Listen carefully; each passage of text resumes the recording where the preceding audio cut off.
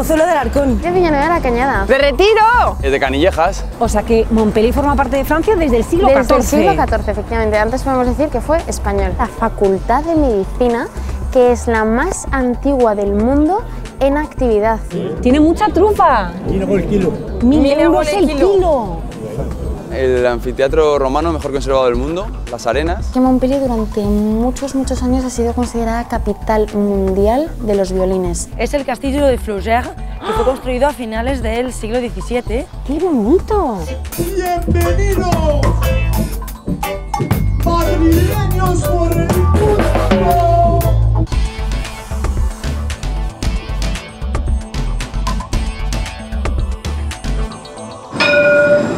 Es la ciudad francesa con más días de sol al año, 300. Por eso en parte se instalaron aquí artistas, músicos y cerebros. Uno de cada cinco habitantes es estudiante o investigador. De hecho, personajes tan ilustres como Nostradamus estudiaron aquí. Nuestros madrileños todavía no son ilustres, pero van a ver lo listísimos que son. Bienvenidos a Madrileños por el Mundo, Montpellier.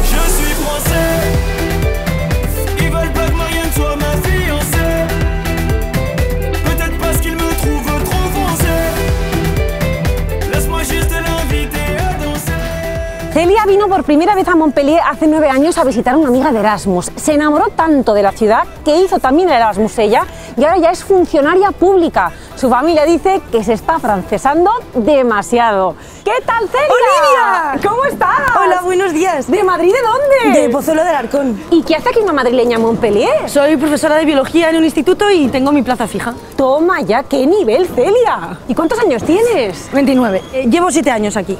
Siete años ya. Bueno, bájate que te conozca un poco, ¿no? Un placer. Encantada. ¿Y este perrito que te va siguiendo?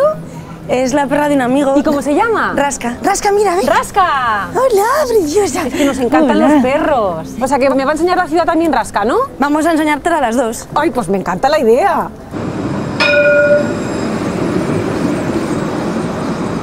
¿Que tú qué has estudiado? Yo he estudiado biológicas en la Universidad Complutense. ¿Cómo has acabado de funcionaria en Montpellier? Como había hecho unas prácticas durante el Erasmus en un laboratorio donde todo había ido bastante bien, eh, cuando terminé la carrera me propusieron venir a hacer la tesis doctoral, la tesis en biología molecular. Y decidí que en el fondo siempre me había gustado la educación y preparé la oposición y, y me la he sacado. O sea, has sacado una oposición para profesora de instituto en Francia.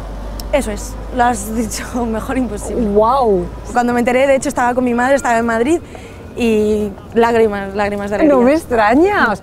¿Y el salario está bien? ¿Está mejor que en el El en salario España? no sé exactamente cuánto se cobra en España, pero aquí un profesor el primer año cobra alrededor de 1.500 euros netos. Para mí está fenomenal. Porque el salario mínimo aquí cuánto es? Es alrededor de 1.200, 1.300 euros por 35 horas semanales. O sea, mucho mejor que en España. Lamentable- lamentablemente sí. ¿Y has venido sola a Montpellier? ¿Viniste sola? Vine sola. ¿Y aquí has encontrado pareja, Celia? ¿O algo? ¿Un rollete? A, a- a rachas. A, a rachas. Es- esto, ta- esto tampoco lo tengo que decir, ¿no? Lo que Ah, tú quieras. ah, eh, no. no, no, no, no. Te he citado aquí en la Place de la Comédie porque es un poco el centro neurálgico de la ciudad donde sucede un poco todo tipo de eventos. El equivalente en Madrid sería una mezcla entre la Puerta del Sol y la Plaza Mayor. Estamos en una explanada que está al lado de la Plaza de la Comédie que se llama la Esplanade Charles de Gaulle y es una zona de parque donde la gente pues viene con los niños a jugar o a darse un paseo y a la izquierda eh, podéis ver un olivo que plantaron en homenaje a las víctimas del atentado de Madrid del 11 de marzo de No me 2004. digas. Sí, como o sea, para... esto honor a las víctimas eh, del atentado del 2004. Ujú. Un Lo plantaron el año de después, algo así. Fíjate, en memoria de las víctimas de los atentados, pues eso, del 11 de marzo. Y aquí en Francia, que ha sido objeto terrorista de, de muchos atentados, no sé cómo lo vivís vosotros, si hay mucha preocupación. Pues por desgracia sí, en los últimos meses, años ha sido un país objetivo de muchos ataques terroristas y el gobierno ha tomado cartas en el asunto y ahora mm, en el momento en el que tú llegas a cualquier lugar público pues te, revisan el, el bolso, te cachean. Por ejemplo, ves aquí esta gente que está en la entrada del mercado, antes se podía entrar libremente y ahora mismo con todo esto que te digo del pánico un poco que se ha, que se ha implantado pues te vigilan el bolso a la entrada. Es bastante desagradable y sobre todo implanta una sensación de miedo en la población que está bastante presente. Con el nuevo gobierno de Macron han hecho ley algunas de las situaciones excepcionales que estaban consideradas parte del estado de emergencia ahora mismo el gobierno tiene derecho, por ejemplo, a lectura de correos electrónicos, pinchada de llamadas, sin orden judicial. Y en lo que respecta a educación, por ejemplo, nos han dado como unas clases de, de prevención de la radicalización y estamos obligados como funcionarios del Estado, si vemos eh, por parte de algún alumno algún comportamiento sospechoso o algo así, a declararlo a nuestro superior, es decir, al director del centro. Montpellier en general, todo el centro histórico, de hecho creo que es la ciudad de Europa que más zona peatonal tiene, ¿Ah, sí? está hecho para, para ir a pie o en bicicleta. No hay, no hay acceso con vehículos, salvo para los vecinos que tengan plaza de garaje. ¿Y qué te parece a ti la polémica que hay actualmente en Madrid porque el ayuntamiento quiere peatonalizar Gran Vía? Pero al final uno se acostumbra y la verdad que es súper, súper agradable el poderse pasear por el centro como estamos haciendo aquí sin ningún vehículo y aparte pues eso lo que quita de contaminación del casco histórico y le da otra vida y otro aspecto a la O ciudad. sea, que tú ah, votarías claramente a favor. ¿Dónde hay que firmar? ¿Este es un cartero? Este es un cartero y va en bici eléctrica. Bonjour. La policía también va en bici a veces. ¿Y se mandan muchas cartas aquí en Francia más que en España o no? Dice que no, Oh, ya nos escribe. Pocas. Qué pena. Que ahora la gente hace por mail. Claro. madrileños por el mundo. Merci. Merci, revoir. ¿Y esta media bici que hay aquí en la pared, Celia? Pues si te das cuenta, cuando vayamos paseando por el centro te lo enseño, hay un artista local que se ha dedicado a ir incrustando diferentes partes de bicicletas ¿Qué en los dices? muros de la ciudad. Y bueno, en general hay un montonazo de artistas viviendo por la zona y muchas escuelas de arte, de arquitectura, etcétera. O sea, que esto es una ciudad de artistas. Sí.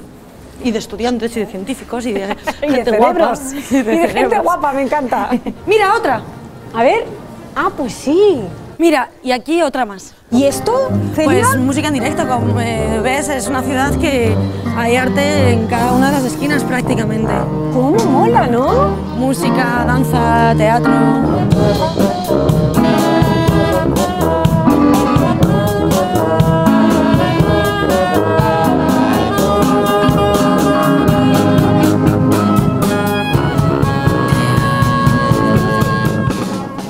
Eh, este es uno de los ejemplos de trampantojos que hay en, en Montpellier. Trampantojo significa trampa para el ojo y como podéis ver hay algunas de las ventanas que son reales y otras que están dibujadas. Aquí yo conozco pues cerca de 10 y el más grande de Francia está en Lyon. Qué chulo. Claro, es que es como una ciudad como muy bohemia, ¿no? Muy... Artistas, como Total. decíamos.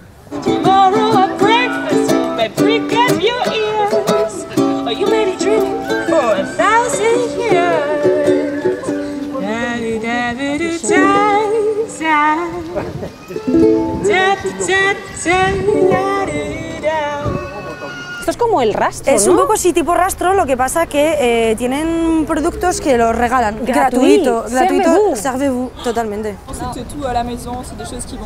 Son cosas suyas de su casa. Son cosas suyas de su casa, personales, y que, bueno, no les hacen ya más falta y prefiere dárselas a alguien en lugar de, de tirarlas. ¿Hablas español? ¿Y por qué? ¿Por qué? Porque soy un poco española. De- eh, ¿Tus padres eran españoles? Eh, al origen mi madre sí era española, de Alicante. Yo vine aquí a estudiar. Mucha, mucha gente tiene Sí, familia. aquí hay- ha habido una gran ola de inmigración después de Franco Claro. en todo el sur de Francia. Increíble, qué maravilla hablar con alguien en español así de Ahora bien. mismo hay como encuentro de dos generaciones, ¿no? La gente que ha venido un poco al mismo tiempo que yo y la gente que vino hace 40, 50 años. Gracias, Mara. Adiós, Mara. Hasta luego. Son eh, agricultores de la zona y productores, sobre todo bio y locales, que vienen a vender sus productos dos veces por semana. Y lo que hay muchísimos son tipos de queso, porque bueno, junto con el pan y el vino es un poco el icono de aquí de Francia, ¿no? Un producto nacional. Je vous disais un pelardon pic Saint-Loup, sec, un autre demi-sec. 8,90. Que estas son fotitos de sus cabras, que es ella la productora y las que las cuida. Y es la mujer la que hace el queso. Hace más o menos 30 años, dice que ya ni se acuerda. Adiós, gracias. Una pescadería incluso, a ver qué Sí, precios bueno, tienen por estamos aquí. al lado de la costa. Lo único que el precio comparado con España es bastante, bastante más elevado. Las gambas, 39 euros el kilo. Wow. Bonjour, monsieur. Más caro aquí, ¿eh? ¿Hablas español también? Poquito, sí. ¿Por qué? Mujer, ¿Es española? Muy bien. ¡Toma ya! Que todos los madrileños vienen a Montpellier. A conocerlo, ¿no? Celia, estoy viendo paella. Venden platos preparados y sí, la paella la verdad que tiene un montón de tirón. La preparan Sí. en muchos sitios y no está mal. ¿Cuánto cuesta? Pues mira, pone 13,20 el kilo. O sea, que aquí un español gusta, entonces, ¿o no? Muchísimo el jamón, la paella. Somos de España, paella, España. Ya, te- ya se ha terminado casi.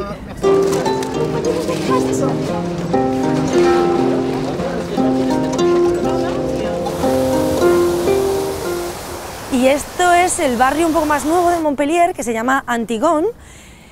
Pero si parece como un anfiteatro. Sí, es bastante, bastante espectacular. Yo la primera vez que lo vi me impresionó muchísimo que después de haber venido paseando por callejitas, callejuelas un poco estrechas, encontrar esta enormidad, esta esplanada, que bueno, no invita más que a sentarse a tomar un poquito el sol. ¿Pero esto qué son casas o qué? Porque... Son casas, aunque no lo parezca, son casas. Mi madre la primera vez que lo vio me dijo, pero ¿segura que no son edificios para ministerios?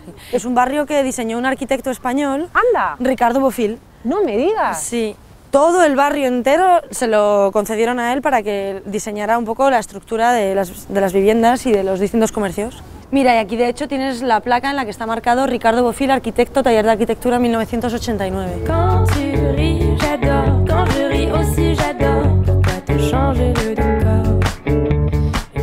Ahora vamos a ver uno de los lugares más emblemáticos de las afueras de Montpellier. Es el castillo de Flaugier, que fue construido a finales del siglo XVII. ¡Qué bonito! Sí, es un tipo de castillo que se llama folie y folie significa casa de campo. Bueno, folie viene del latín y significa hoja, feuilla- feuillage. Eh, Eran una familia de gente noble que estaban involucrados en política, formaban parte de la aristocracia y ha ido pasando de generación en generación y han ido conservando el lugar. Bonjour. Bonjour. Bienvenue. Pierre, enchanté. Enchanté. Encantada. Enchanté. You live here. Oui. Vive aquí. Qui sont- C'est mon fils, Camille. Ah. ¿Es su hijo? Camille, c'est la onzième.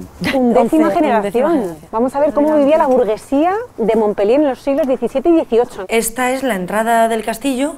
Originalmente la puerta principal estaba aquí detrás y el objetivo era que los invitados entrasen y se sorprendiesen con el magnífico jardín que hay en la parte trasera. Y lo que estoy viendo es que esta escalera es impresionante. Sí, el objetivo de este tipo de construcciones era eh, sorprender a los invitados con la belleza del lugar. Si te fijas, tiene unas partes que descienden y que en toda lógica deberían ser columnas que llegaran hasta el suelo y no, están cortadas a la mitad. ¿Y cuándo se construyó este folie? 1696. ¿L'escalier son original? Oui. La escalera es La original. escalera es original de finales del siglo XVII. Este es el retrato de Etienne de Flaugier, que es la persona que construyó el castillo. Era consejero tesorero de la, de la nobleza, de los reyes de la época. ¡Wow! O sea que este es tu tatarabuelo, tatara, tatarabuelo, ¿no? A ver, ¿se parece? Es no que sé, no yo creo que no. O sea pas la même coupe de cheveux. no es el mismo pelo, no. Ahora vamos a ver la sala de armas, donde hay armas originales que fueron utilizadas en la Revolución Francesa. ¿Qué dices? Sí, por ejemplo, la tercera escopeta que ves aquí contando desde arriba, ¿Quién la ancêtres. uno de los ancestros de Pierre. Aquí, por ejemplo, eh, se puede ver la galantería francesa del siglo XVIII.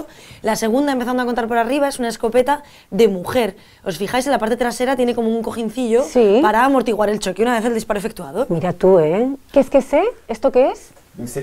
Briquet. Es lo que llamamos un mechero. Como un mechero. Es que briquet quiere decir mechero, no sé. C'était un objet de, un objet de tous les jours du quotidien. Era un objeto de cotidiano, de uso diario prácticamente. Ça servait à tuer le voisin ou couper le poulet. Y entonces podíamos usarlo tanto para mm, asesinar a nuestro vecino como para cortar el pollo. O sea que los Se hombres de la época de la Revolución Francesa llevaban esto todos los días. Tous les jours, il portait, ouais. todos los días. O sea, era como el mechero de la época. El mechero de la época, de ahí su nombre. Libros, cartas, partidas de nacimiento. Y entre las cartas, algo muy curioso, es una carta que encontramos de Voltaire, que escribió a uno de los ancestros de Pierre. No me lo puedo aquí está la creer. original y aquí podemos ver una... Voltaire le escribió una carta a un familiar de Pierre. Es que Esquildí, que decía, Comenta los poemas que escribía un ancestro suyo que era también eh, mecenas. Voltaire aquí le deja un poco entender con mucha educación que bueno que podría buscarse una actividad paralela que no es lo suyo, que no, es lo la suyo. poesía. ¡Ay, qué bueno! Ahora Olivia te voy a enseñar uno de los dormitorios de este palacio. ¡Wow, qué bonito! Es el dormitorio del águila. Mira, aquí encima en el cabecero de la cama podéis ver este animal representado que simbolizaba el poder del imperio francés en tiempos de Napoleón. De hecho, es que el águila es el símbolo de Napoleón. Esta habitación fue restaurada por los padres de Pierre para que tuviera el mismo aspecto que a principios del siglo XIX. ¿Y se utiliza? Todo el mobiliario que ves es original y sí se utiliza. Por ejemplo, cuando vienen sus hermanas en épocas de vacaciones o así, se quedan a dormir en, aquí, en esta cama. Uy, ¿eso es una puerta secreta? Si, c'est la porte de service. Es la puerta de la servidumbre. La utilizaba el servicio doméstico para poder ir de habitación en habitación sin cruzarse con la nobleza que utilizaban unos pasillos diferentes. Es tremendo, ¿eh? O sea, para no poder cruzarse con los nobles. Y este es el comedor de la casa, ¿no? La salle à manger, La à manger. ¿Pero siguen comiendo aquí? ¿Vous mangez encore Bien ici sûr. No. Si. ¿Le petit déjeuner ici? ¿Desayunan aquí? No. Et Las cenas más que el desayuno. ¿Qué es esto? ¿Qué es que sé, Pierre? euh, Para salsas. Sí, sí, lo utilizaban para servir las salsas y que estuvieran calentitas. ¿Esto qué es? Es el salón. La sala de estar, ¿no? Sí, la sala de estar. Es que huele antiguo y todo, ¿eh? Sí, es verdad. Este es Luis XIV, el retrato que podemos ver aquí arriba en mármol. El rey sol, El ¿no? sol. Luego. Es una muestra de que esta familia realmente Estaba muy involucrada en las actividades políticas de la época. Es el rey francés que más tiempo ha estado en el poder. 72 años. Es una mesa de juego, Olivia, del siglo XVIII. Y hay algo muy curioso, que son estas sillas, que son sillas especiales para las mujeres. Los únicos que estaban invitados a jugar en la mesa eran los hombres. Y las mujeres, para controlar que no hicieran trampas, se ponían aquí de mironas, de voyeurs. Se, se, se llama la silla de la voy- voyeuse. En serio, o sea, realmente eran las mironas. Eran las mironas del juego. ¿Qué valor puede tener actualmente este folí? 10, 20, 30. 10, 20, 30. ¿Millones de euros? ¿Tienen pensado venderlo algún día? Non, Nunca. Jamais. jamais. Mantrineros por el mundo. Au revoir. ¡Merci! Y ahora vamos a ir a la playa de Montpellier, que está a 10 minutos en coche. ¿Solo 10 minutos? Está aquí al lado. Pues vámonos. Vámonos. Canto esta canción. ¿Esto es escape? Somos la revolución. Sí, señor, la revolución. Sí, señor, sí, señor. Somos la revolución. Tu enemigo es el patrón. ¡Cántame, Celia! Las que me roban mi dignidad. Mi vida se consume soportando esta rutina que me ahoga cada día más. No tengo un puto duro, pero sigo cotizando. Me ha costado el bienestar. ¡Arriba! Me encanta. Bueno, esta es. Venga, baja. Una de las playas que a mí personalmente más me gustan porque no tiene ninguna casa a los alrededores, como podéis ver. ¿Se sube por aquí a la playa? Se sube por aquí, sí. ¿Cómo Venid. se llama esta playa? Se llama Villeneuve-le-Maglon. ¡Qué bonita! Y es muy, muy chula. Esta playa está en una zona de naturaleza protegida que cuenta con más de 3.000 hectáreas. O sea, que es inmenso. Es muy grande. Y esto en verano me imagino que estará... Nada que ver, llenísimo de gente. Montpellier en realidad no se construyó en la playa, sino un poquito alejada para evitar los ataques de piratas. ¿Ese fue el motivo? Por Ese el- dicen que fue, que fue uno de los motivos, sí. Anda. ¿Y a qué temperatura puede estar el agua ahora, Celia? Diez graditos. Ah, que Toca me- el agua como es debido. A ver Me si voy se a puede. pringar, ¿sabes? Pues está fría, fría. No, nos metemos. ¿Nos metemos? ¿Te apetece? metemos. Yo si te animas tú, me animo yo. Yo te propongo que vuelvas en junio, a ver si. Venga, mejor. Oye, tú que eres profe, ¿el sistema educativo de aquí de Francia cómo es comparado con el de España? Creo que el sistema educativo francés, al estar centralizado, favorece mucho el que la educación tenga un nivel muy elevado en, en un pueblito pequeño o en, en la calle más, más cara de París. ¿no? O No depende de cada autonomía. No depende de cada autonomía, está centralizado. No hay que olvidar que Francia tiene territorios, lo que se llaman territorios en, en, en otra mar, Ultramar. ultramar, como Guadalupe, Guayana, Martinica, Nueva Caledonia, la Polinesia Francesa, y en todos esos lugares también se envían muchos funcionarios del país. Eso garantiza que, que los alumnos tengan que tener una enseñanza equiparable en, en cualquier sitio.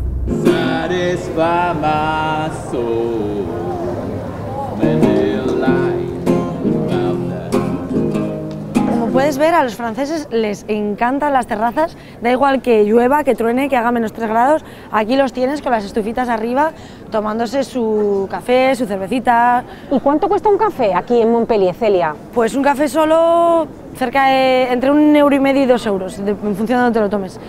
Y O sea, como en Espa- como en Más Madrid. o menos como en Madrid. Y una cerveza entre 5 y 10 euros la pinta. Ah, bueno, y el vino todavía más, o sea, una copa de vino entre 4 y 6 euros fácil, y lo beben a cada hora. ¿Cuánto nos puede costar un menú del día aquí en Montpellier? Pues mira, aquí son 14 euros y aproximadamente está alrededor de esa cifra. Hay una cosa que es diferente, vamos, yo no conozco sitios así en Madrid, y es que hay muchos restaurantes que venden también objetos, ropa. ¿Esto es un restaurante? Esto es un restaurante. ¡Rasca! Fíjate, los perros pueden pasar No hay problema en que, sí, sí. O sea, que son más dog friendly, Dog ¿no? friendly, que podríamos decir, sí. 44. 44. Aquí la ropa es más cara que en Madrid, ¿no? Bastante más. De hecho, el precio aquí normal. No, perdón. El precio aquí en rebajas es como el precio nuestro normal. ¿En serio? O sea, que tú compras ropa aquí en Montpellier. no, no. Pero qué curioso un restaurante que venda ropa al mismo tiempo. Sí, bueno, hay algunos que venden esto, calzado, ropa, libros también. Muy francés esto, ¿no? Bastante, sí está como de moda.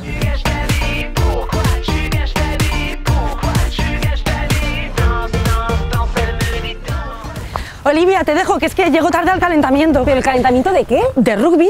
¿Juegas al rugby? Sí, bueno, aquí en Francia está un poco al mismo nivel que, que el fútbol, incluso por encima, ¿no? Es deporte nacional y bueno, hoy tenemos partido. ¿Y en qué equipo juegas tú? Y ahora mismo estoy jugando en el Pixalú, en un equipo de aquí que tiene un campeonato regional que no es realmente competición, sino que es más o menos, pues no pachangueo, pero gente que su prioridad es más pasárselo bien y no simplemente ir a ganar, aunque espero que ganemos. ¿Pero has llegado a jugar en alguna liga importante o no? Bueno, oye, jugué tres años en el equipo de Montpellier y en 2014 fuimos campeonas de Francia. No me digas. Sí que te estás afrancesando mucho, ¿eh? Un peu. Y entonces, ¿cuál es tu equipo? En las que van de verde, ¿no? Las que Entiendo. van de verde, sí, las picholines. Las picholines. ¿Y por qué se llama así el equipo? Pues picholines es un tipo de, de aceituna de la zona. ¡Ánimo, Celia! ¿Eso qué es? El bucal para no partirme los dientes, que ya bastante... Mira, esto es una chica que no se lo puso un día y consecuencia. Ahora estamos haciendo un minuto de silencio por una chica que ha fallecido, eh, que era jugadora de rugby de un club, eh, de un pueblo de aquí cerca que se llama Narbonne. O sea, jugando. Según he entendido, sí. Esto Vaya. pasa muy poco, pero a veces desgraciadamente pasa.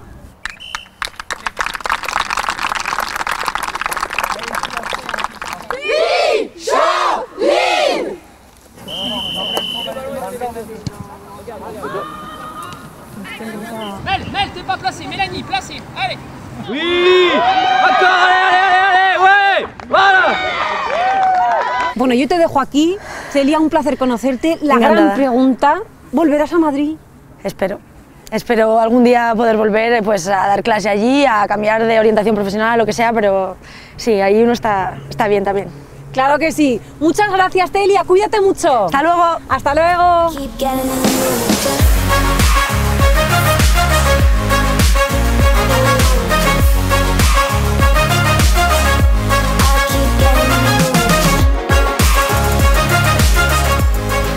Después de aprender inglés y chino, a María le faltaba el francés y pensó, qué mejor forma de aprenderlo que venir a estudiar la carrera a Montpellier. ¿Qué tal, María? Hola Olivia, ¿qué tal? ¿Cómo, estás? estás? ¿Cuánto tiempo? ¿De Madrid de dónde? De Madrid de Villanueva de la Cañada. ¿Y qué hace aquí una madrileña en Montpellier? Estoy haciendo Derecho, mención en Derecho francés y Ciencias Políticas. Es un doble grado, son dos años de, de Derecho español y, y Derecho francés. Si es que pareces francesa, francesa, María. Ah oui, j'ai l'air française en fait.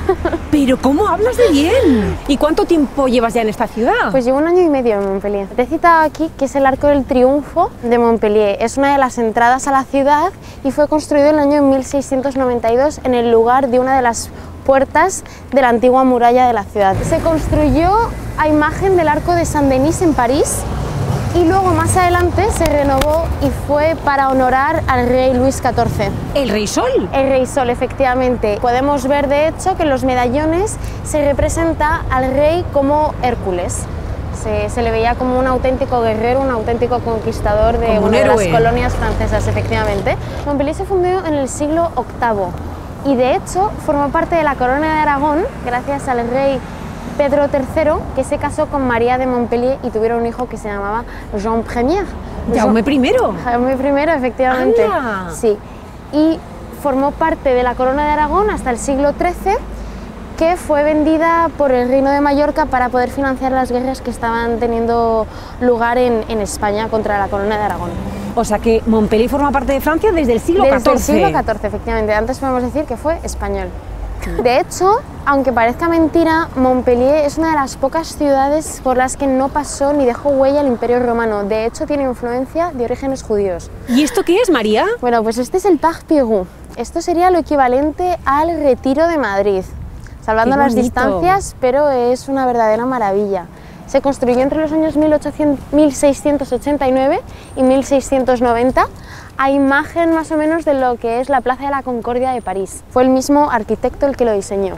El centro de la plaza alberga la estatua ecuestre de Luis XIV, que era el rey Sol, que, bueno, como cuenta la historia, eh, en el imperio de Luis XIV era, era tan grande que no llegaba a ponerse el sol en todos sus territorios. Ahora, Olivia, te voy a enseñar uno de los monumentos estrella de la, de la ciudad de Montpellier. Se trata de la Facultad de Medicina, que es la más antigua del mundo en actividad.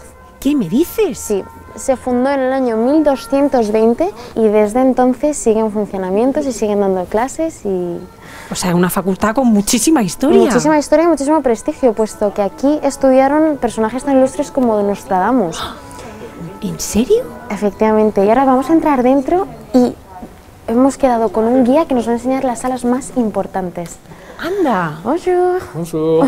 Bonjour. Aparte de guía, es doctor de medicina, estudió en esta facultad y ¿Ah, yo creo sí? que es el mejor ejemplo que, para que nos muestre el edificio. ¿Vous avez étudié ici? Oui, oui, oui, tout à fait. ¡Wow! Estudió aquí. ¿Y esto qué es, María? Esta es la sala de actos donde se presentan las tesis. Las tesis doctorales de medicina. Sí. ¿Y quiénes son todas esas personas que están en los cuadros? Personnages illustres, les professeurs en Los profesores Profesores ilustres. ilustres, se sigue defendiendo las tesis eh, con un ju- jurado que, bueno, pues que sigue vestido como, como en la época. Como vemos aquí en los Ajá, cuadros, como ¿no? podemos ver en los cuadros. ¿Y aquí está Nostradamus? ¿En Y alguna de estas? Nostradamus, eh, ici, tableaux il n'est pas représenté là. No, no está No está representado. ¿Y pourquoi? ¿Y por qué? Ah, parce qu'il a eu une histoire assez particulière avec Montpellier. Tiene una historia un poco particular. particular, sí, un poco Oui, parce qu'il était euh, apothicaire, de boticario. Ah, Boticario. claro, era boticario y eso estaba prohibido por los estatutos de la Facultad de Medicina. Entonces fue, il était expulsé, en fait. Et il a été rayé des registres parce qu'il était apothicaire. Et apothicaire et médecin, ça faisait pas bon ménage. O sea, le expulsaron de esta facultad Le expulsaron de esa por facultad ser por ser boticario. boticario. Ujú. Moi, je vous propose qu'on aille au musée d'anatomie Vamos al Museo de Anatomía et on va voir des exemples. y vamos a ver, Vamos a ver aquí algunas cosas que se han descubierto en esta facultad. Eh, Exacto. ¡Wow! Tiene una pinta espectacular. C'est magnifique. Un conservatoire qui était destiné à montrer aux étudiants toute l'anatomie. Como el museo de anatomía para los estudiantes. Exactamente. Para que vieran todas las partes del cuerpo. Efectivamente. Pues mira, por ejemplo, son piezas hechas en cera, que era como el 3 de, de la época. Se construían mediante un artista y un médico de anatomía para, bueno, pues... O sea, eh, los artistas del siglo XIX hacían esto. Efectivamente. Ya es la forma más moderna de mostrar un cuerpo humano desde dentro. Para los estudiantes de medicina, sí. Hombre, es que la verdad es que es increíble para el siglo XIX Está mostrar aquí fenomenal. todos los órganos. Está fenomenal. Pathologique, ça veut dire avec les maladies qui déforment le corps. Y de la anatomía patológica, Patologías, ¿no? Del cuerpo patología humano. efectivamente, que son bueno, pues las enfermedades. Esto, esta era una- la única vitrina que estaba cubierta con una, con una cortina, porque para la época era un poco escandaloso, y muestra ejemplos de, de, de los efectos de la sífilis. Maladie sexuellement transmissible. Uy, uy, uy. Ah, es una enfermedad de transmisión sexual. Transmisión sexual, sí. Uf, algunas son un poco desagradables, La ¿no? mayoría, sí. Maintenant, Ahora, afortunadamente, la sífilis eh, tiene cura No, hombre, menos con los antibióticos. tuberculose. Ah, las Tuberculosis. enfermedades de la tuberculosis, efectivamente. Ese era uno de los efectos que tenía. Venían aquí los estudiantes sentaban aquí ah, No. para dibujar. Para dibujarlo. Claro, no había no había fotocopias. Fíjate qué curioso. Ce sont des momies égyptiennes Son qui ont momias 15 egipcias. siècles. Es una momia De hace egipcia. 15 siglos. 15 siglos. Me parece que lleva un gorro, ¿no? El gorro, claro, esa es la, la- la moda de la época. Es increíble cómo se conservan los dientes. Estaban destinadas al Museo Louvre, pero nunca llegaron a, a su destino. Ah, ¿y por qué? ¿Porque el Louvre lo donó aquí o por qué? Quizás porque no la necesitaban más o... Y Montpellier acabó voulait aquí. les avoir. Voilà. Y claro, y Montpellier consideraba que tenían que estar aquí. Aquí tenemos un esqueleto de un camello y de un gorila que datan del 1868 y se estudiaba la anatomía comparada, es decir, por qué a los animales les afecta de tal modo y a los humanos nos afecta de tal modo. Los médicos también estaban obligados a, a disecar animales, aunque fuesen médicos de, bueno, pues de, de humanos. Adiós, madrileño por el mundo. Merci beaucoup, Christophe. Muchas gracias. Au revoir. Bueno, y justo al lado de la Facultad de Medicina tenemos el Jardín Botánico. Este jardín botánico es el más antiguo de toda Francia. No me digas. Sí, sí, y fue creado por el rey Enrique IV para que los estudiantes de medicina pudiesen familiarizarse con las plantas, investigar. Uno de los árboles más curiosos que hay aquí es el ginkgo biloba, es un árbol natural de Asia, de China, de Japón. Su semilla se puede comer, tiene unas propiedades medicinales alucinantes. eh, se ha visto que, que puede tratar el Alzheimer, los las etapas de migrañas. También se están estudiando para ver si puede curar la esclerosis múltiple. También es un revulsivo sexual. Esta es la semilla del fruto. A Y ver. aquí veis que esto es lo que se come. ¿No te lo quieres comer? Yo no, gracias, pero porque además huele bastante mal. A ver. ¡Oh! ¿Verdad? Huele fatal. Es asqueroso. Pero es bueno. Es muy bueno.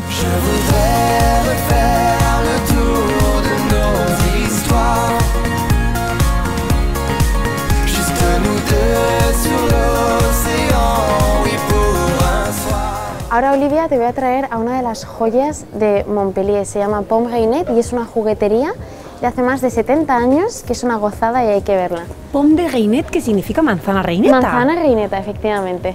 ¡Qué bonita! Parece como un museo de los años 50. Es el dueño de la tienda. Sí. Es increíble. ¿Qué es que sé? ¿Qué es eso? Une guimbarde. ¡Ay, me encanta! ¿Y cuánto cuesta este juguete? Euh, 12. 12 euros. 12 euros. Es que hasta los armarios son auténticos. Sí. ¿Cómo lo ha adquirido todo esto? Petit à petit. Poco a poco. Il y a 45 ans que je travaille avec ces jouets. 45 Hace años lleva aquí 45 años. trabajando. Ujú. ¿Y qué nos va a enseñar ahora, María? Un juguete español. Ah, la peonza. Uy, Claro. esto sí que es español. Esto y es. Je sais pas, je peux pas. Seguro que lo hace bien, ¿de verás? ¡Toma! Voilà. ¡Bravo! 9 euros. ¡Oh! ¡Wow! Merci beaucoup. Merci beaucoup, muchas gracias. Merci. Bueno, Olivia, mira, te he traído a mi casa, ¿vale? Este es un inmueble que pertenece, bueno, que se creó en el siglo XIII. Este edificio era la residencia de los cinco primeros estudiantes, bueno, como lo podéis ver aquí, de los cinco primeros estudiantes de medicina de toda la ciudad de Montpellier. ¿Qué dices? Efectivamente. O sea, que era como un colegio mayor el primero. Exacto. Vivo en, en, este, en este apartamento con, con una señora francesa, que es prácticamente como mi madre. ¡Wow! ¡Qué encanto tiene este Es piso! el edificio, la verdad es que tiene un toque un poco bohemio, pero es, Sí. es, es agradable, es muy, que- es muy acogedor.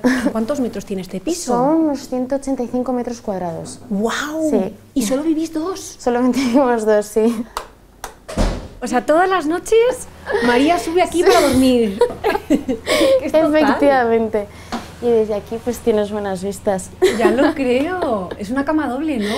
Sí, sí, es doble. ¿Y cuánto pagas por esta habitación? 350 euros al mes en, una vi- en un piso que son 3.000 euros mensuales.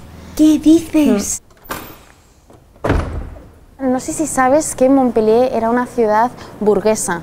Ah, sí. Que contaba con más de 70 mansiones de nobles. Este es uno de ellos, a ver qué te parece. El patio interior, la bóveda, las escaleras, la vidriera. ¡Qué edificio Es tan una bonito! maravilla.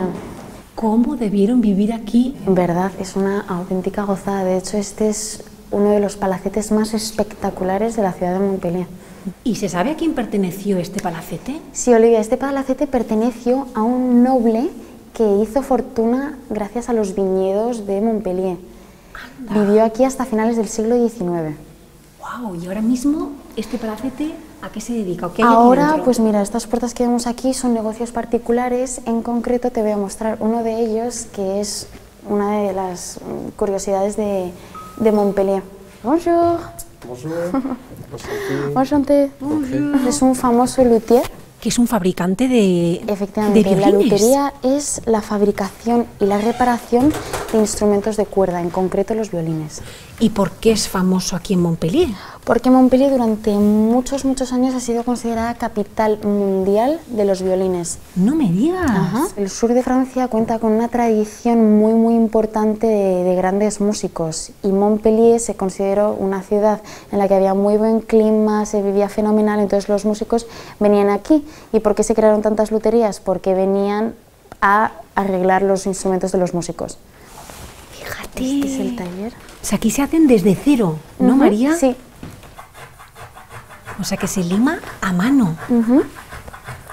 De hecho, la construcción de un violín puede llegar a durar dos meses de trabajo a jornada completa. Se aplica el barniz con los dedos de la mano.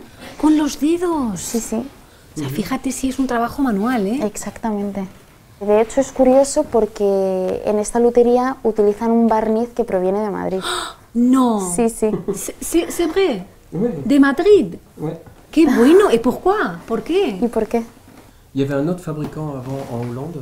Había otro euh, fabricante anteriormente en Holanda, pero D'un vernis du même type. del mismo et, tipo de barniz. euh, qui est décédé. que se murió. Entonces estaba más cerca el de Madrid y, y era bueno relativamente de mejor calidad. Et qui fonctionne très bien. Ah, que se seca con rayos ultravioletas Anda. térmicos. Nos podemos meter ahí para ponernos. Comme Claro. le soleil. On peut bronzer dedans.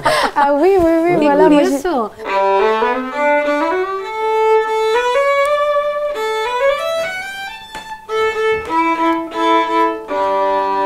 ¡Bravo! Au revoir, madrileños por el mundo. Merci, au revoir. La gran pregunta, María. ¿Volverás a Madrid? Bueno, como decía Sabina, siempre hay un vuelo de regreso a Madrid, ¿no? Así que si Claro Dios que quiere, sí. sí. Que te vaya genial, María. Gracias, Un hasta luego, adiós. Chao. chao. chao.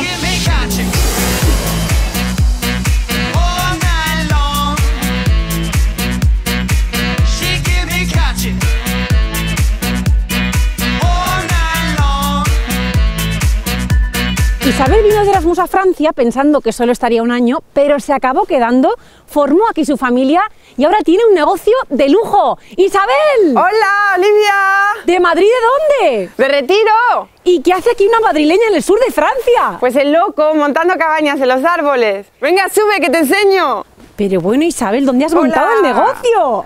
el fin del mundo, en el sur de Francia. ¿Y cuánto tiempo llevas aquí? Uy, pues desde el 2001 en Francia. Llegué de Erasmus. Y luego, pues lo típico, me enamoré y ya me quedé. Y en diferentes trabajos en el sur de Francia. Y ahora hace unos años que hemos decidido cambiar de vida. ¿Y tú qué estudiaste? Yo Historia del Arte. ¿Dónde? En Madrid, en la Autónoma, y en París, en la Sorbona. ¿Y cómo has acabado montando este negocio que no tiene nada que ver? Pues ni sé, pues que ya queríamos estar en un ambiente pues como más natural y hacer otras cosas y luego con los niños pues era lo que, lo que nos apetecía, estar ¿Tienes aquí. hijos? Sí, dos, Tristán y Dalia. ¿Cuántos años tienen? Ocho y seis. ¿Te sientes más española que francesa o no sabes Pues ya? ya ni uno ni otro, sí, estoy ahí. No me extraña. Ni sí ni no. ¿Y tú cuántos años tienes, Isabel? 36. 36, o sea que viniste muy jovencita, ¿no? Con 21 años. ¿Y este negocio qué es exactamente? Cuéntame. Pues cabañas en los árboles con todo lujo, con jacuzzi, con sauna y un proyecto con, con mi marido y que bueno, lo hemos dejado todo para venir aquí y empezar con esto. Que tienen sauna. ¿Cómo mola? ¿Y cuántas tienes? Tenemos tres. Tres cabañas en mitad del campo. En mitad del campo. Venga, y este es el jacuzzi, es el spa. Es un spa ecológico que calienta, se calienta con madera. No me lo puedo creer, Isabel. Esto es maravilloso. Un lujo ecológico. ¿Pero iba bien la cosa? ¿Va bien el negocio o no? Perfectamente, no puede ir mejor. ¿Sí? No puede ir mejor. ¿Tenéis muchos clientes o no? Sí, estamos llenos siempre. A ver, esta es la primera cabaña que hicimos, la hicimos nosotros. ¿Vosotros? Sí, yo con mi marido, con Max. Pero con vuestras manos. Con nuestras manos. Nos acompañó un constructor que nos iba explicando, o sea, nos iba diciendo cómo teníamos que hacer las diferentes cosas. No me lo puedo creer. La diseñamos Isabel. nosotros con, uno, con una amiga también que es designer. Es preciosa. Sí. Así todo muy natural también, mucha madera, escandinava. ¿Y cuánto tiempo tardasteis en hacerla? Pues hicimos las dos primeras entre febrero y julio. Poco me parece para hacerlo dos personas que no son Sufrimos mucho. albañiles, ¿no? Sufrimos mucho. Sí, ¿no? Bueno, aquí colabora todo el mundo. Mi tío, mi tía, mi madre, mi padre. ¿En serio? Ah, bueno, vale, ahora lo Gracias. Pues esta es la Tropicabana, es nuestra última cabaña que hemos hecho el año pasado. La idea es hacer un sitio como muy acogedor, ¿no? Tropical, hemos utilizado mucho bambú, mucho fibra natural y la cocina pues todo completa, detrás de los armarios ahí que veis pues hay de todo. Aquí tenéis el frigorífico, ponemos pues claro, champagne. Veo mucho alcohol, Isabel. ¿Aquí vienen a emborracharse o qué pasa? Claro, a ver, vienen aquí para pasar la noche de enamorados. Aquí tienen también el mini lavavajillas. Qué gracioso, el mini mini, ¿eh? Y esto tiene ahí su chimenea, Su ¿no? estufita, claro, para poder venir en invierno. Esto enseguida que lo encienden, pues ya calienta todo. Y con servicio también aquí al lado, ¿no? Claro, nos ha costado traer aquí todas las tuberías y todo, pero entonces la gente tiene pues el encanto de estar en los árboles al mismo tiempo que tienen pues todo el confort de pues tener un baño, una ducha y todo necesario para una noche romántica. ¿Cuánto cuesta alojarse aquí una, una noche? A ver, a partir de 210 euros la noche. Pero ¿y este vehículo, Isabel? Venga, Olivia, sube, que tengo que ir a recoger a los niños ahí arriba. ¿Pero le- les recoges en esto? Sí, así de vez en cuando, cuando tengo tiempo, sí. Esto es vida de campo total, ¿eh, Isabel? Total. ¿Este es el autobús del cole? Sí. Tristán, Dalia. Hola, encantada. ¿Cuántos años tienes? Ocho. Ocho. Tristán viene un poco dormido. ¿Cómo te llamas? Dalia. ¿Y cuántos años tienes tú, Dalia? Seis. Seis. Claro, hablan perfectamente español los dos, ¿no? A ver, perfectamente, perfectamente, un poco torcido, como dice la abuela. Bueno, bueno, la familia aventurera al completo casi, casi. ¿Ya han estado en Madrid ellos? Sí, sí, claro, todos los años vamos. ¿Y te gusta Madrid, Dalia? Pues el sí, pues no. Algunas cosas sí y otras cosas no. Lo que me gusta es el, el retiro. Le gusta el retiro. ¿A ti qué es lo que no te gusta de Madrid? Es que hay mucha suciedad. Fíjate tú, ¿eh? Nos está poniendo firmes, ¿eh? Ya sí, ya sí. No, no me la... Qué pesada está. Vamos. ¿Y aquí es donde vivís, Isabel? Aquí vivimos, sí, desde hace tres años. Vinimos aquí para el proyecto, sí, aquí vivimos. Pero esto es una casa de campo también, ¿o esto qué era antes? Una granja. ¿Una granja? Una granja grande, sí. Esa era la casa donde vivían y aquí estaban todas las dependencias, el palomar. ¿Esto era un palomar? Sí. ¿De qué año o de cuándo? 1770, creo que lo pone ahí en la piedra de la, de la entrada. Que esto es un palomar del siglo XVIII. Sí, pero la parte más antigua, digamos, es este ala que está después del palomar, que en patrimonio aquí de la zona nos dijeron que era de la Edad Media. ¿Y esto que hay aquí, que es como una especie de baldosa de colorines, esto qué es? ¿No te suena? ¿No lo has visto por ahí en todos tus viajes? Pues sí que me suena verlo en alguna calle. Es, un, es una obra de arte eh, hecha por Invaders, que es un, es un artista de calle, como los llaman, y que resulta que durmió en las cabañas, lo subimos porque luego nos dejó un comentario en el libro de oro y luego nos contactó y nos dijo, ¿queréis que os invada? Porque lo que hace es invadir el mundo entero con sus marcianos. Y le dijimos que sí, claro, yo había hecho historia de arte antes, le conocía, yo estaba flipada. Claro, claro. Aquí 1814. Fíjate. ¡Qué casa tan bonita! ¿Te gusta? Y qué acogedora con la lumbre. ¡Hombre! ¡Encantada! ¿Cómo te llamas? Max, Ma- ¿Hablas español? sí, un poco, sí. ¿Y cómo os conocisteis? En un bar. yo estaba de Erasmus en París y en donde yo vivía, pues una tarde con unas amigas que fuimos a un bar, pues ahí nos conocimos. Trabajas con tu marido, ¿no, Isabel? Sí, Lleváis el negocio los dos. los dos. La verdad es que no nos vemos mucho, porque él Ah, está ¿no? siempre afuera, él se ocupa de todo lo que es la intendencia, de, de todo, y yo estoy más con la comunicación, con la administración, ocupándome de los clientes, de las comidas. ¿Les enseñáis vuestra habitación? Eso, ¿me enseñáis la habitación? De las dos. Ah, que estáis aquí los dos. ¿Y qué tal se portan, Isabel? Mm, No, se pelean mucho. No, hombre, no. Esta es la de papá y mamá. Ah, qué bonita, Isabel. ¿Una habitación?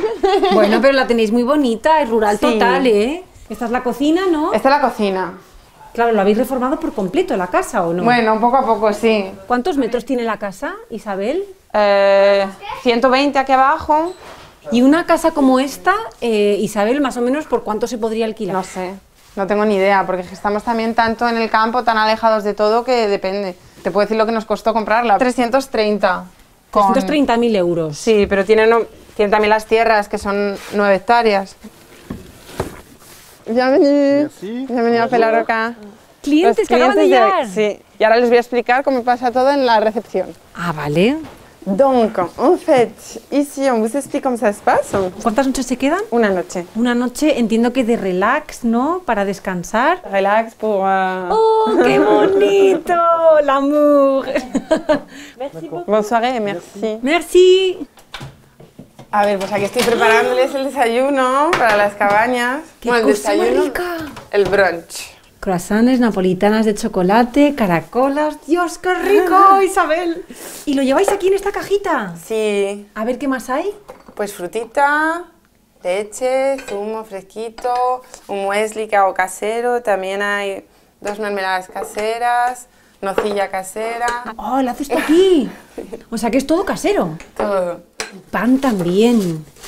Pan que no falte. Y el cartelito del buen apetito. Venga, que tenemos que llevar el desayuno, que no se nos enfríe. Claro, porque está calentito, recién horneado. A ver. Vamos para allá. Venga. Y todos los días tienes que llevar el desayuno a los clientes, claro. Claro. Que llueva, que nieve, que haga sol. Pero me parece muy divertido, ¿no? A ver, mola. Mi vida mola. ¿Te gusta tu vida? Sí. Ah, que tú les dejas ahí el desayuno y ya está. Y ya está, o sea que no salen ni No. nada. Ah, vale. jamais éprouvé ça auparavant. Laisse-moi seulement te prouver que ce n'est pas du vent. Personne n'avait soulevé en moi de tels sentiments. Dis-moi que j'ai une chance même si tu me Te he traído a Sant Antonin Nobleval, un pueblecito medieval al sur de Francia que hace unos años pues le nombraron casi casi el pueblo más bonito de Francia. ¿De toda Francia? De toda Francia, sí, bueno, se quedó tercero. Anda, la verdad es que se ve precioso, pero el tiempo no acompaña, Isabel. No. Yo pensaba que al sur de Francia no llovía. Yo también, me han timado. y tienes un paraguas magnífico, ¿eh? Me han timado. ¡Joli, cómo jarreado! Pues aquí estamos en la plaza del pueblo, en la plaza de Sant Antonin, que es un pueblo medieval y donde veis en todos los edificios, y está la casa Román, que la llaman, que es el edificio civil más antiguo de Francia. O sea que lo que estamos viendo es posiblemente uno de los ayuntamientos más antiguos de Francia. Sí, del siglo XII. ¡Guau! Medieval. La única parte posterior es lo de la torre a lo mejor algún otro elemento escultórico, pero si no, el resto es original. El tramado es casi medieval aún, las calles son muy pequeñitas, no hay coches. Es como de cuento, ¿eh? Como de cuento. Es una monada. Lo que pasa es que se han escondido todos los habitantes con Sí, esta hoy lluvia. No, no era un día para salir, pero esto en verano tiene que ser. Se llena de gente, es muy, muy turístico, tienen muchas actividades al aire libre, canoe, bici. Pero hoy podemos coger la canoa por el pueblo, casi, casi, ¿no?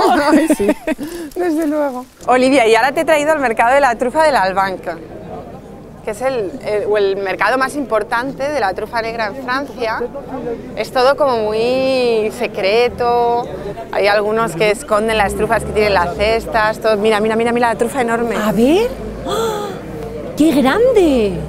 Pero ¿y secreto por qué, Isabel? Bueno, porque todas las transacciones se hacen un poco así como por debajo de la mesa a veces. Hay pocas y por eso son tan caras. Claro, y por eso hay tan, tan poco producto, ¿no? Claro. Bonjour, ¿ça va? ¿Vous parlez español?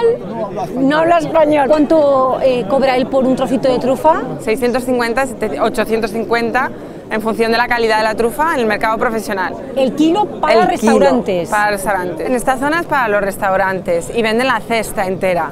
Ah, vale, o sea que los que están a la derecha son compradores de restaurantes, ¿no? Profesionales, sí. Vale. Y ellos son los, los de la izquierda. Los son- que producen la trufa. Así es como se vende a los restaurantes, ¿no? de Así esta es como forma. se vende a los restaurantes en este mercado, sí. Parece como que le va a hacer una oferta y la va a escribir en ese papel, ¿no? Eso es, exactamente. A ver cuánto le está ofreciendo, 700 veo yo ahí, ¿no? Sí. 700. ¿Y a ti te ha dicho antes que lo vendías? Entre 650 y 850. Ahí se va. Pues yo creo que no hay acuerdo. No, no. Van a pesar el material y ahí le van a pagar. C'est ça. 1 kg 3. Mais de quoi 1 kg 4.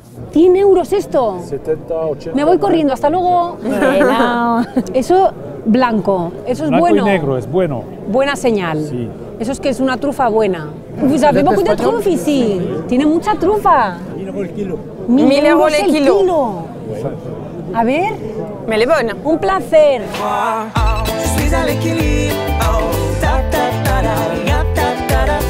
Pues mira, Olivia, aquí estamos en mi finca, tenemos 800 árboles truferos. Tristán, Dalia, Max, venid.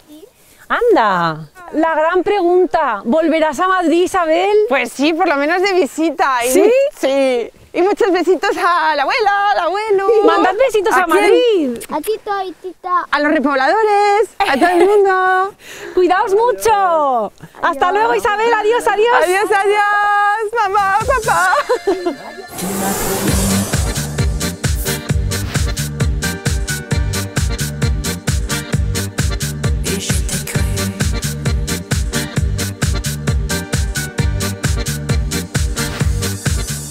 Y al ladito de Montpellier está Nîmes, conocida como la Roma francesa. Hasta aquí se vino Carlos porque su profesión era de las más demandadas. ¿Cómo estás? Pues muy bien.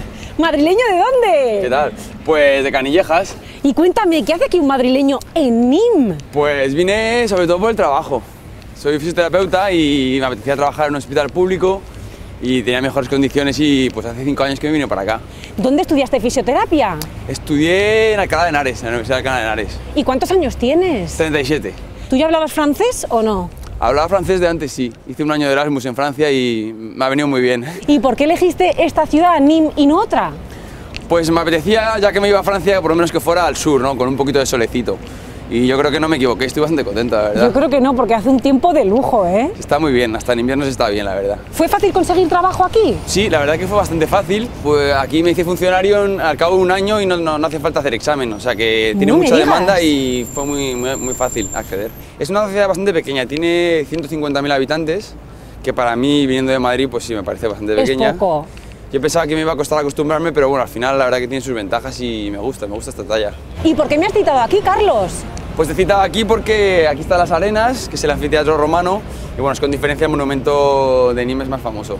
Y aquí estoy viendo un torero. Aquí sí, eh, concretamente la estatua de Nimeño II, que bueno, aquí es un poco como el oso y el madroño de, de Nimes. Y este es un torero famoso de aquí, o sea que es una ciudad taurina entonces. Sí, Nimes es una ciudad bastante taurina desde el, ya desde el siglo XIX. Anda. Y bueno, concretamente Nimeño II fue un torero que, que fue cogido por un, por un miura, se quedó discapacitado para torear y al poco se suicidó. No me digas. Sí, sí, una historia Qué un poco trágico, terrible. ¿no? Te voy a enseñar lo que para mí es una de las joyas más importantes de, de Nîmes, que a mí me encanta. Aquí tienes, Olivia, el anfiteatro romano mejor conservado del mundo, las arenas. Es impresionante, ¿eh? Es increíble. ¿De cuándo es? Eh, Del siglo I antes de Cristo. Realmente lo que estamos viendo es del siglo I antes de Cristo. ¿Veis los arcos? Eh, todo está sin restaurar, están empezando ahora, un poco la parte de los bancos. O sea, la parte de los arcos no se ha restaurado. Esa parte no, esa parte tiene, tiene partes eh, originales totalmente. Es, es increíble, ¿eh, Carlos? ¿Y cómo ha aguantado tan bien el paso de los años? Pues entre otras cosas, eh, mira, tenía aquí una foto para enseñarte, A ver. porque la Edad Media se pobló con, con casas al interior, había como unas 300 casas, tenía también un pequeño castillo, una iglesia, ¿Qué dices? y lo utilizaron para, para protegerse, eh, para resguardarse, y estuvo así durante, durante más de un siglo. Y por eso se ha conservado y tan por eso se bien. conserva bien, la gente no venía a coger las piedras ni, ni el material, y ya no fue hasta el siglo XVIII posterior cuando pues, empezaron ya a quitar todas las partes de las casas y, y a, y a- y a vaciarlo. ¿Y qué ocurre aquí, Carlos? Pues justo aquí en estas arenas eh, había combates feroces con animales, no tigres y leones como estamos más acostumbrados, eran animales de la región, eran lobos, jabalíes. Sí, había también combates de gladiadores y bueno, tenían la particularidad de que aquí en Nim eran sobre todo hombres libres que elegían ser gladiadores. Ah, no eran esclavos. No eran entonces. esclavos como más se conoce en Roma y había, había incluso mujeres, eh, se No que me mujeres que digas. eran gladiadores. Mujeres gladiadoras en Nim. Y bueno, en realidad había sangre, pero no era lo más habitual, porque costaba bastante entrenar a, a los gladiadores. Entonces, pues bueno, había a lo mejor un 10% sí que, que podían morir, pero muchas veces no, no se llegaba hasta eso. Pero bueno, ¿y, y esta turista que viene aquí vestida de romana? Que aquí hay mucho, mucho ambiente romano y las tiendas Me pues hay, hay eventos y la gente le, le motiva. Where do you come from? China. Son de China. Barcelona, Ja, uh, Roma. Se van hasta Roma, sí, sí. No puede ser. Sí, pasan por aquí, claro. ¡Qué No valientes! Malino, malino. Y luego, Olivia, tienes que ver las, las vistas que hay desde aquí, que son, que son impresionantes. ¡Qué pasada! ¡Qué bonita se ve la ciudad! Sí, se le, se le llama la, la Roma francesa y bueno, es que es la ciudad francesa con los vestigios romanos más mejor conservados. ¿Y por qué era tan importante esta ciudad para los romanos? Pues esta era una de las poblaciones de referencia de, de la Vía Domitia, que era la, la ruta que unía Hispania con, con Italia.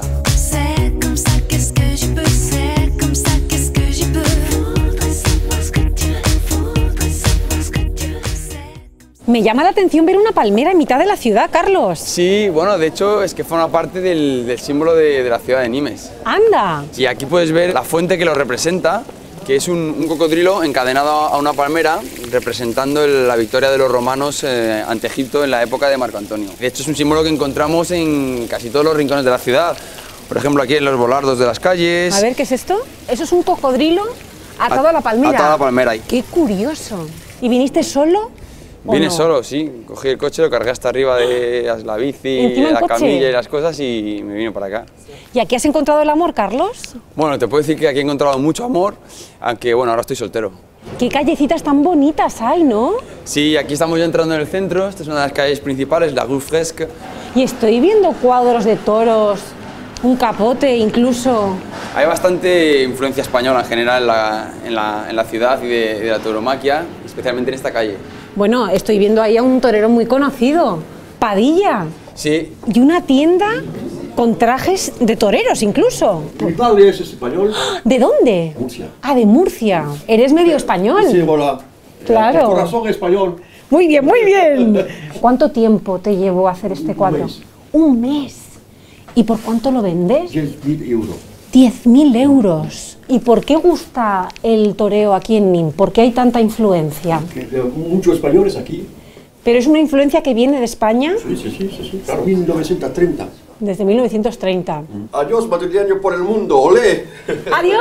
Adiós, ¡Gracias! bueno, luego también hay muchísimos bares de, de tapas y de comida española.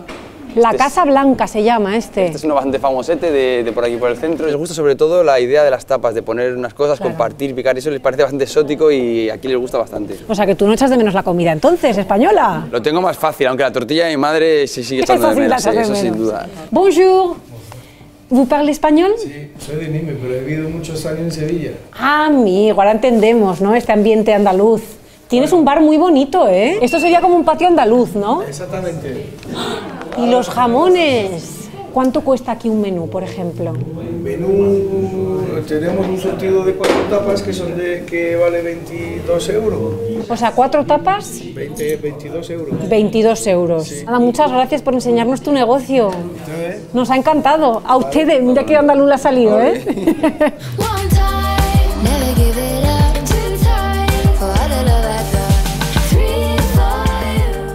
Bueno, ya voy a enseñarte la- lo que sería la segunda joyita de Nîmes. Es la, la Maison Carrée, que significa la casa cuadrada, y es el templo romano mejor conservado del mundo. Es impresionante, Sí, ¿eh? se construyó en el siglo I Cristo, aunque bueno, hay zonas que han sido restauradas. La importancia que tuvo en su día era que formaba parte del foro. Era el centro neurálgico de la ciudad. Y Ah, era o sea, que aquí era el centro de Nim.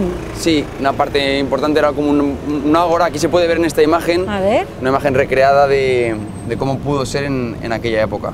Mira, aquí hay otra foto donde se puede ver cómo fue en la época la Maison Carrée y todo el, el foro.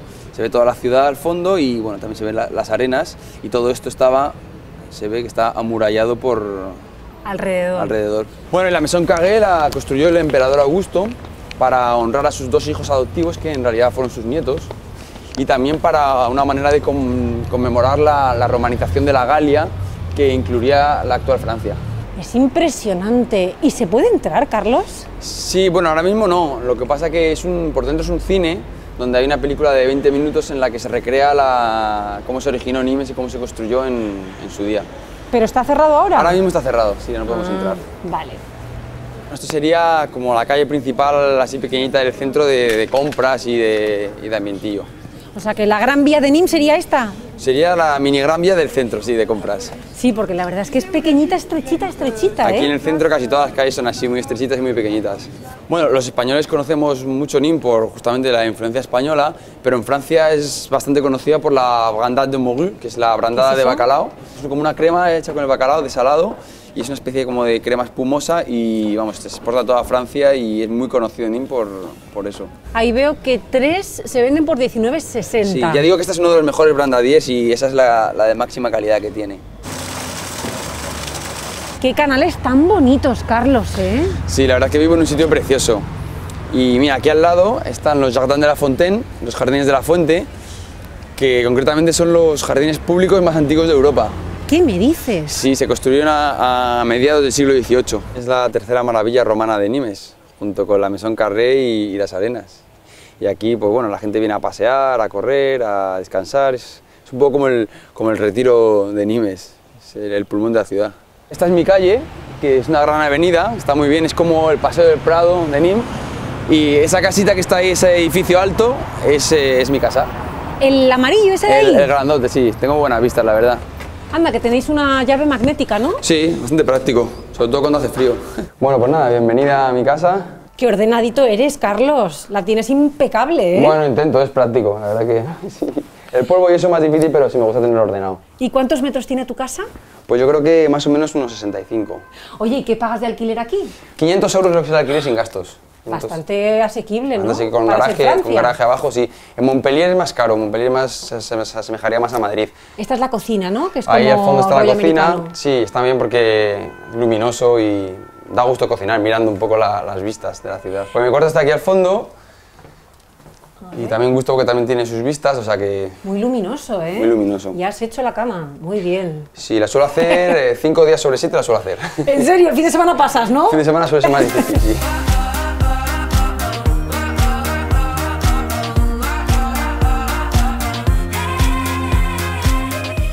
Bueno, pues ahora te voy a enseñar el, el hospital público donde trabajo y mi sala de fisioterapia. Y eres funcionario público, ¿no, Carlos? O sea, tienes tu plaza Sí, fija. tengo mi plaza. Al cabo de- del año me la, me la dieron. Te la dan por antigüedad sin necesidad de examen, cosa que está muy bien. Y Eso por la bueno, falta de fisioterapeutas aquí, ¿verdad? Necesitan mucho. La sanidad pública necesita fisioterapeutas, por eso hay muchas facilidades. Y aquí está mi sala de, de fisioterapia. Aquí en Eso es Francia dice- sí, así es como se dice, kinesioterapia. ¿Qué Los fisios, los fisios aquí somos kinés. Anda, qué curioso. Bueno, está un poco, está un poco desordenada porque ayer se trabajó. O sea, que esta es la bata que os ponéis. Sí, es la bata que nos ponemos. ¿O cómo la llamáis vosotros? El pijama. El pijama, me voy a poner el pijama. Sí, el pijama que ya se entiende que es el, el de trabajar. ¿Puedo saber cuánto gana un fisioterapeuta? Sí, depende de la antigüedad. Yo llevo cinco años y gano 1.600. Se puede llegar a final Netos. de netos. Final de carrera puedes llegar a ganar 2.300. Lo que pasa que si yo trabajase en, en liberal, en privado en la, en la ciudad, podría ganar 2.500 o 3.000. ¡Wow! Por eso hay mucha demanda de fisioterapeutas en hospitales públicos. Porque los franceses se van todos a los centros privados. Sí, la gente joven que va saliendo de las escuelas se va, se va a trabajar en centros privados y en clínicas privadas. Vamos a ver si tenemos aquí a alguien. Bonsoir. Hola, ¿qué tal? Hola. Pero bueno, ¿cómo estáis? Muy ¿Qué bien, tal? bien. ¿Y tú? ¿Y tú por qué hablas español? Un poco, un poco. ¿Pero por qué? Ah, un poco. Pero porque lo has aprendido. Son auxiliares de enfermería y el estudiante él. Madrileños por el mundo. ¿Y aquí la sanidad pública en Francia cómo funciona? Pues aquí en Francia la sanidad funciona con el método del copago. Entonces un tercio corre a tu cargo y casi todo el mundo lo que hace es tener un seguro privado para, para cubrírselo. Sin embargo, tiene otros puntos favorables como que, por ejemplo, la fisioterapia en, en gabinetes privados también está incluida, el tema de las gafas. El dentista también estaría Hay incluido. una parte que está incluida, efectivamente, los, los cuidados más básicos, eh, empastes, incluso endodoncias, están incluidos. Bueno, y ahora te voy a contar una anécdota, una, una curiosidad que no sabe casi nadie de NIM y que, bueno, tiene que ver con tus pantalones. Con, o sea, con los va- con vaqueros. Sí, ahora lo verás, sí, sí. Bueno, pues lo que te quería decir es que la- los vaqueros, la tela de los vaqueros, eh, se originó en Nîmes. ¿Cómo que son de aquí? Sí, sí, el de Nîmes, que hemos escrito muchas veces, significa de Nîmes, de Nimes. No me lo puedo se creer. sí, o sea, sí, los sí. denim de toda la vida son de nim. Efectivamente, de hecho, te puedo enseñar si quieres la, la patente que está aquí. A ver, a ver, a ver, no me lo puedo Y, creer. Esto es yo tampoco lo sabía antes de venir. Aquí tenéis la patente donde efectivamente marca que el, el denim es, significa de Nimes. Y bueno, está fechado en el año 12 de la, de la República, que correspondería aproximadamente a finales del siglo XVIII, principios del XIX. Increíble. ¿Y cuál es la historia, Carlos? ¿Por qué los vaqueros son de aquí de Nim? Pues es una, porque es una tela que se fabricaba aquí en Nîmes y se exportaba a Estados Unidos para, para las tiendas de campaña de los buscadores de oro. Anda. Y en un momento dado, Levis Strauss eh, encontró un paquete, un pedido, ponía Denim 501. Entonces Levis Strauss vio que es un tejido muy resistente y lo utilizó para, para, los, para, para pantalones, para los mineros y los trabajadores. Y el color, en realidad, era un tinte muy barato que venía de Italia, de yenes, y por eso en francés le decían el bleu de yenes, bleu de yen, al final es el anglicismo de blue jeans y viene también de ahí. Es por eso. Es por eso, sí, yo tampoco lo sabía, es muy fuerte en realidad. O sea, la verdad es que alucino. O sea, los denim que tenemos yo creo que todos en nuestros armarios son de esta ciudad del sur de Francia. Sí, efectivamente, y muy, muy poca gente lo sabe.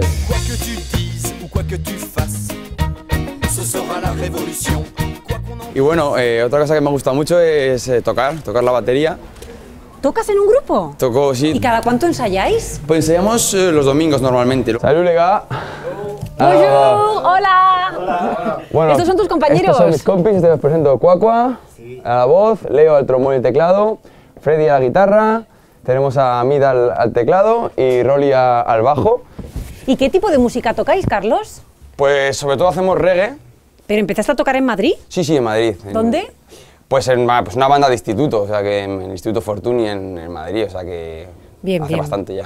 Pues nada, os voy a pedir que me toquéis algo para que yo vea qué tipo de música toca nuestro madrileño. Vale, sí, ça va, ¿Sí? peu. Vale. Merci. Vamos a...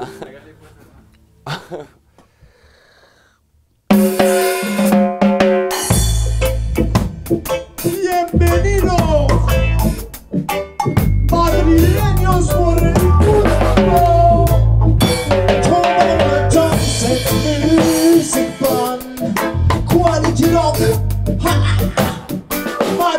por el mundo. Pues nada, yo te dejo aquí en el ensayo. Carlos, ha sido un placer. ¿Volverás a Madrid? Pues de momento no creo, pero espero que sí, la verdad. Espero que sí. Bueno, pues que te siga yendo así de bien. Cuídate mucho, bueno, Carlos. Gracias. Nosotros seguimos por aquí, ¿vale? Chao, hasta luego. Hasta luego.